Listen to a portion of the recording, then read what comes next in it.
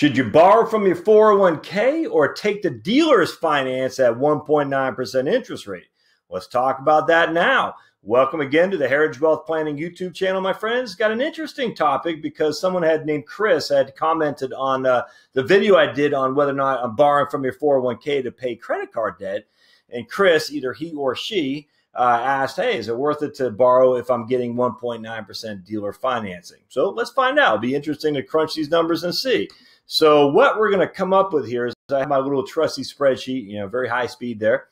And first and foremost, we got to decide to determine how a 401k loan works again. And we're going to say, remember, the 401k, you can borrow either the lesser of a half of your portfolio balance or $50,000, whichever is less. So if you have 50,000 in your 401k, the max you could borrow is 25,000. If you have 10,000 in your 401k, the max you could borrow is 5,000. If you have 150,000 in your 401k, the max you could borrow is 50,000. I hear you out there in YouTube land. So that's exactly right. So that's how it works first and foremost. Second of all, you just take your trusty calculator and you calculate an amortization schedule over 60 payments. All right. So that's uh, five years, 60 months. And basically, what we're going to find is if we're borrowing X amount of dollars at a certain interest rate, we're going to pay it back over 60 months. That'll give us a payment that we have to pay. All right. Now, again, there's always a couple things when it comes to 401k loans. A 401k loan that's not fully paid back, if you leave that employer by their, they fire you or you quit, you're going to have to pay it back within, a, you know, real quick after leaving, or else you're going to get hit with income taxes. And if you're under the age of 59 and a half, a premature distribution on the amount that's still outstanding on the loan. So there is some risk inherent in taking a loan from your 401k. Cannot let that be uh, overlooked at all. All right, so our scenario is here. We're going to assume that you have 45, uh, 50,000 in your 401k. Your vehicle is going to cost you 25,000 bucks. The question is, should we borrow the 25,000 from our 401k? Because remember, we can take half of that 50,000 out, or should we finance the vehicle? Uh, we're going to say the finance the uh, the finance rate is 1.9 percent. That's what the dealer is offering us, and the 25k borrowed from our 401k is paying is a five percent interest right now. Whatever your situation, I don't know, but five percent sounds about right. And again, that will be amortized over 60 payments, five years. And we know just running the trusty calculator that that's going to cost $470 a month. Now, again, where does that 470 a month go? It goes back into your account. All right, that's where it goes. It does not go to the bank; it goes back to you.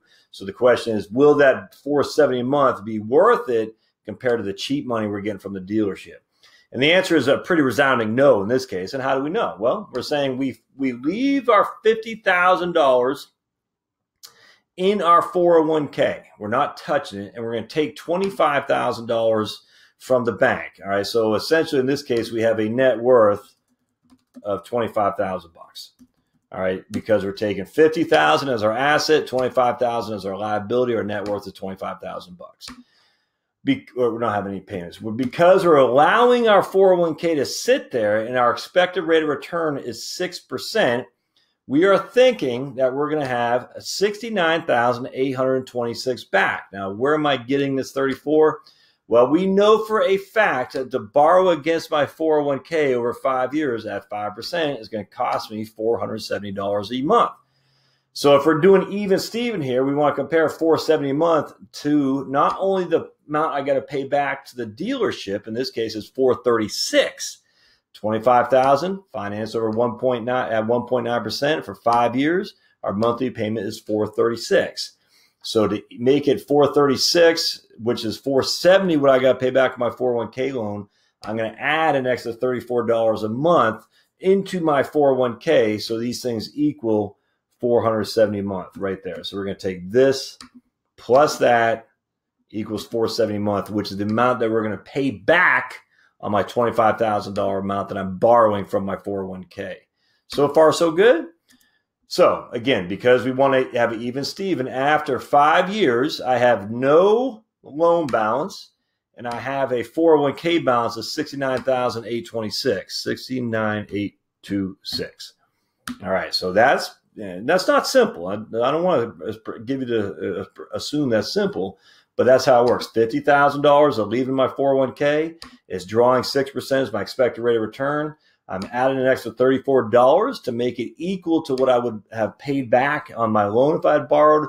And at the end of five years, I got 69,826 in there and I have no loan whatsoever.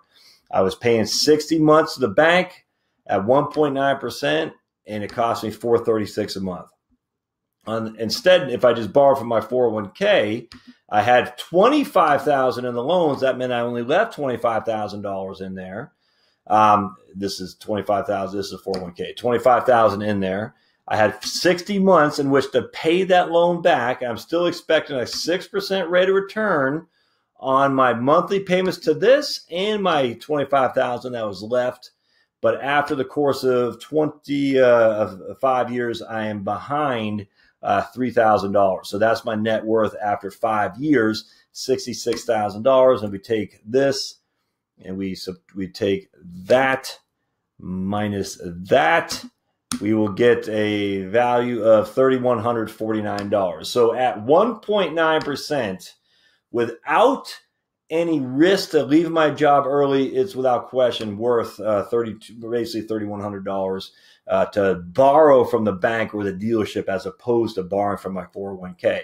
Now, what if I get higher rates of return? Um, then this rate with borrowing would look even uh, from the bank now would look even more better or better. If I get a lower rate of return, the market crashes, then borrowing from my 401k looks better simply because I'm out of the market. At the end of the day, though, I think it's a pretty safe assumption. If you're getting that kind of cheap money, it would make sense to borrow from the bank or the dealer as opposed to your 401k.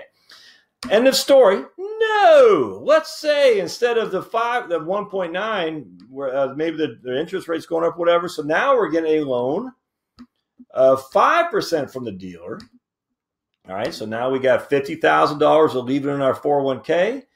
Because we're getting a 5% loan from the dealer on two on 25,000 bucks, we're paying it back at 5% over 60 months. Our monthly payment is 470 which doesn't give us any extra to put into our 401k, which means the future value, our $50,000 that we're leaving in the 401k without that extra $34 a month going in is 67,442. So after five years, that's what I have in the account, which is still better than borrowing from my 401k because here again, we're taking 25,000 out of the 401k. We're paying it back over 60 months over, which is uh, at an interest rate of 5%, and we're paying $470 a month back, which means after five years, there's nothing left in the loan. So we're adding 470 a month to this $25,000. Our expected rate of return is 6%, which in this case means we're only having $66,677. You know, less than a $1,000 difference, but still, even though the dealer interest rate is 5% and the interest rate I'm paying myself is 5%, the facts are I have 25,000 less in my 401k in the first couple years uh, getting that 6%. And because of that is definitely more favorable in which to borrow from my 401k as opposed to borrowing from uh, as, as much more favorable to borrow from the bank as opposed to 401k if I get a 5% interest rate loan from the dealer. All right. So, what if I have a loan from the dealer of 7%? Well, let's take a look at this now. This is where it gets interesting. So 25 I'm leaving $50,000 in my 401k. Same thing, it's growing at 6% a year. And in this case, it's again, it's going to be worth 67,442. But because my interest rate for my dealer is 7%, the payment is now 492. 60 payments, uh, 492 a month at 7% interest. It means me I have nothing left over in that loan but here I only have 67,442 after five years of my 401k. On the other hand, at my 401k loan, I'm paying 492 back. Remember, it was 470 before, but because I want to make it even, Steven, I'm going to pay 492, which is the exact same amount I was paying to the bank for my car loan. So $25,000 over 60 months over at uh, 6% is my rate of return. I'm putting that money back into my 401k at 492 a month. I now have 68,219. So it really comes down to the interest rate you're getting from the dealership versus what you're getting on your 401k and your expected rate of return. Now, there's a caveat in all these things. If you're going to pay cash money to the dealer, hey, Mr. Dealer, I'm going to give you $23,000 of cash or I'll finance the vehicle for $25,000. I'm agnostic. What's your preference? Now, a lot of times you can just say, as a buyer, I'm not going to finance 25,000 bucks. If you want to make the sale, you're going to accept this $23,000. The dealer's going to say, oh, where are you going to get that $23,000 of money, kid? And you say, right here, check, cash order, money order, whatever it is. Money, Uh, just I got a fat stack of cash. I'm willing ready and able to give that to you. So knock a couple thousand off the purchase price, and we're in business. If not, I'm going right down the street.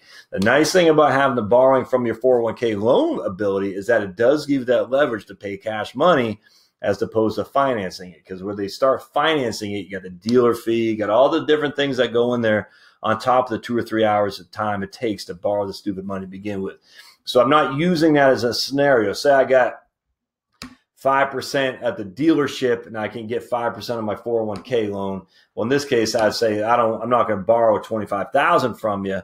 Um, I'm just going to pay you cash at 23,000 and then you'd borrow it from your 401k. However you want to do that. But when you have cash money as the ability to borrow from your 401k, it does give you that leverage that you don't have otherwise as another source to make the deal for the dealer. Um, and so that would kind of com- offset some of the risk of borrowing from your 401k if you leave early. and got to pay early penalties on taxes and then income taxes as well.